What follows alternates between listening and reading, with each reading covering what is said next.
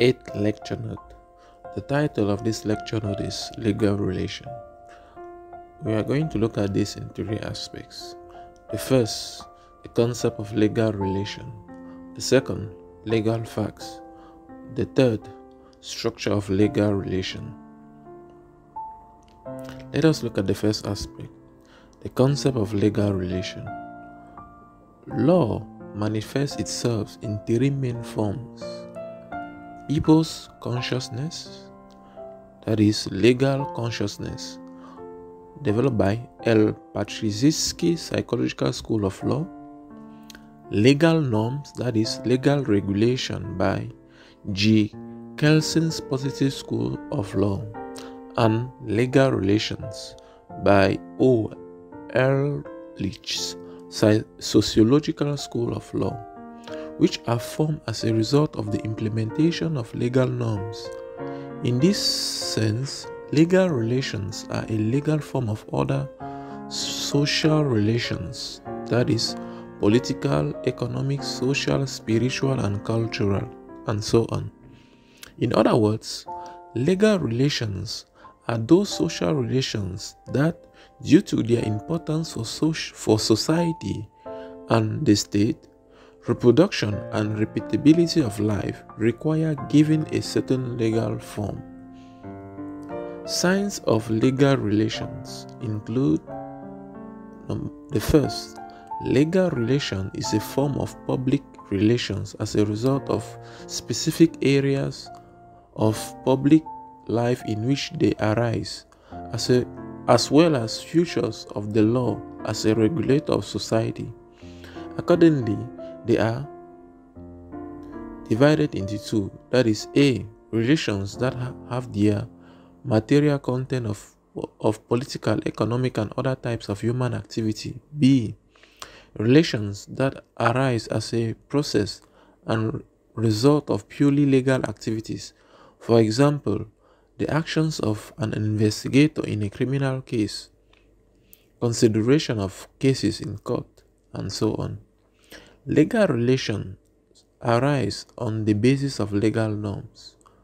The third, legal relations are, are volitional, that is, conscious in nature.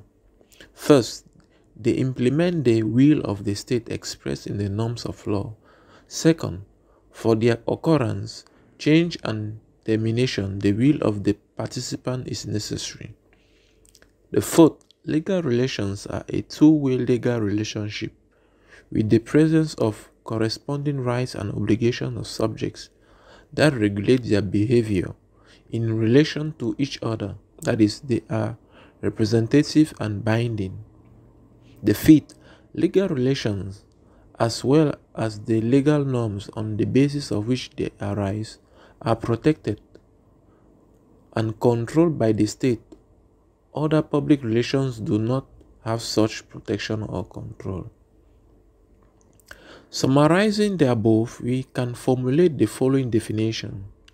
Legal, re, legal regulate, let me come again. Legal relations, a special type and form of public relations, regulated by legal norms, protected by the state, the participants of which are carriers of mutual rights and obligations.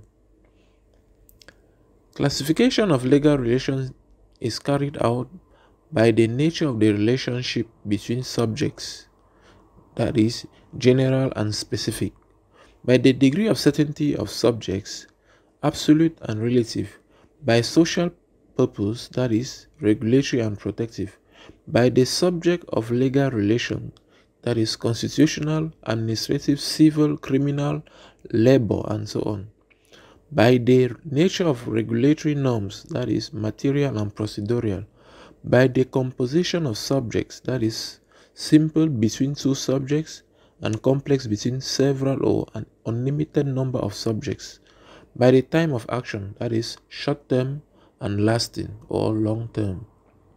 Let us look at the second aspect legal fact.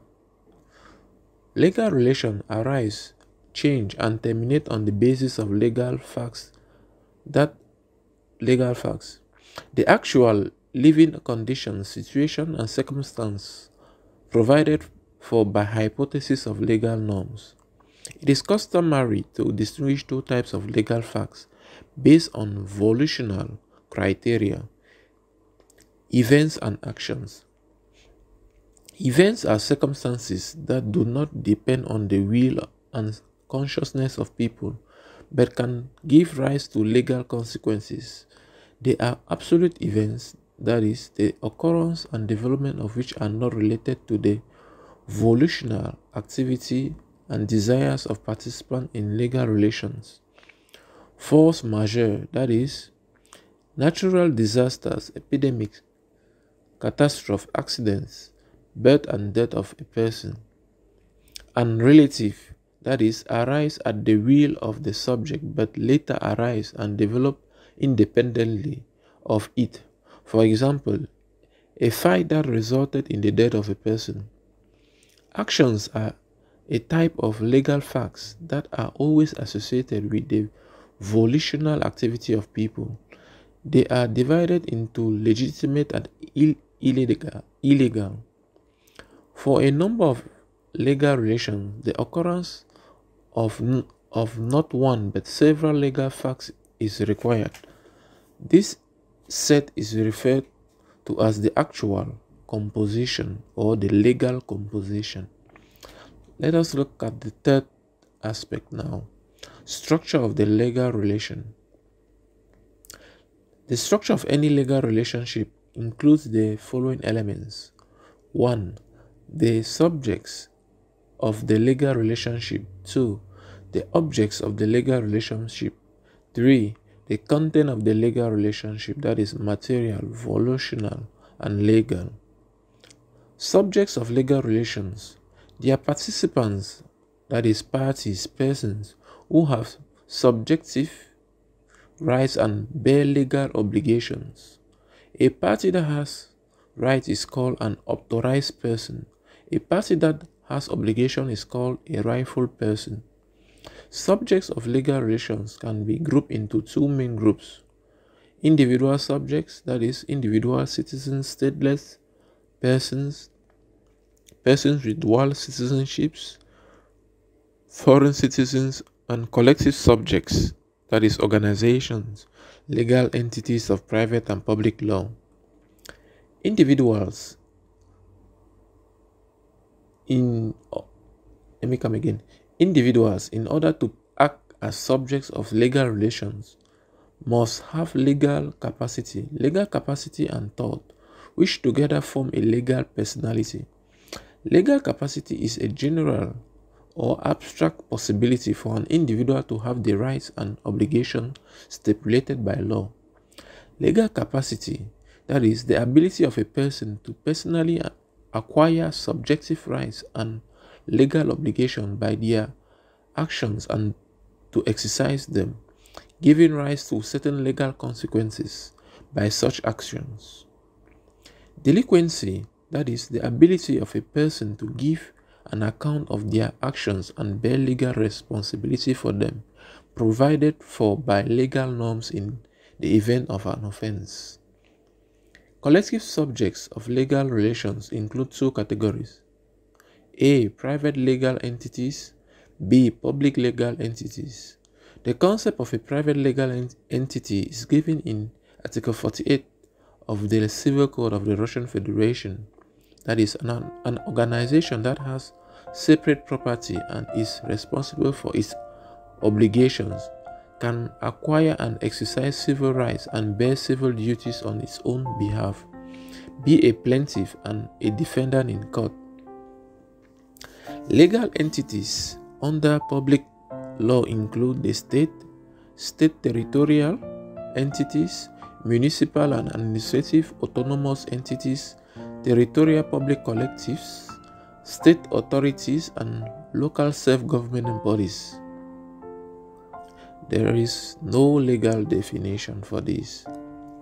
The object of legal relations are various social benefits that serve to satisfy the interests and needs of legal entities about which they enter into legal relations and exercise their subjective rights and obligations. In legal relation, material or actual, that is, actions, behavior, or subjects. Volitional, that is, state, state will, embodied in a legal norm, volitional acts of subjects due to which legal connections between them arise, and legal content, that is, subject, subjective rights and obligation, are distinguished. Subjective rights a measure of per- permissible behavior guaranteed by law and protected by the state, which gives a person the opportunity to satisfy their interests at their own discretion within the limits of the powers granted by the legal norm. Legal obligation, that is, the necessity of proper or required be- behavior of a person in the interest of the authorized persons provided for by law and guaranteed by the state coercion. And with that, we come to the end of the eighth, le- the eighth lecture. Thanks.